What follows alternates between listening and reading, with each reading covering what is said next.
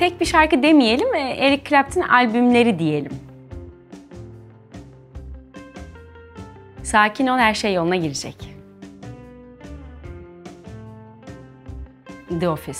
Bayılıyorum. Belki her sezonunu üç kez, dört kez izlemişimdir. Her akşam yatmadan önce açıyorum, öyle uykuya dalıyorum.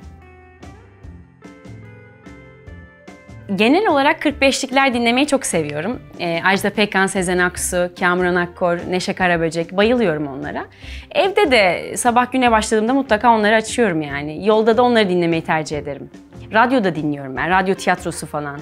Seviyorum. Bazı insanlar için deniz, kum olmasa da hani öyle bir tatil yapmasalar da olur ama ben deniz ve güneş, kum diyeceğim. Çünkü Ankaralı olarak bu soruya böyle bir yanıt vermem daha doğru olur. Yani bizim için tatil demek deniz ve kum demek, güneş demek, yüzmek demek. Ev anahtarlarım diyeyim. Telefon çok lazım değil. Telefon olmasa da ben yaşayabilirim.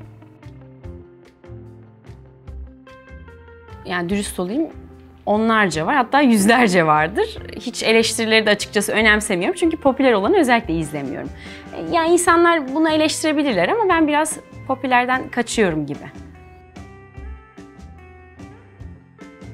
Emojiler samimi değil ya. Ben emo emojileri sevmiyorum. Ben random gülenlerdenim. Doğum günü bağışlarımın e, sivil toplum kuruluşlarına yapılması benim için çok kıymetli. LÖSEV'e, Türkiye Eğitim Gönülleri Vakfı'na, TEMA'ya, Köy Okulları Yardım Projesi'ne. Bence en kıymetli hediye bu. Yani bir insanın al alabileceği en kıymetli hediye ve bir insana verilebilecek en kıymetli hediye. Bu hayatta benim aldığım en kıymetli tavsiye kişinin başarısı sadece kişinin eseri değildir. Yaşam doğumdan ölüme kadar kolektiftir.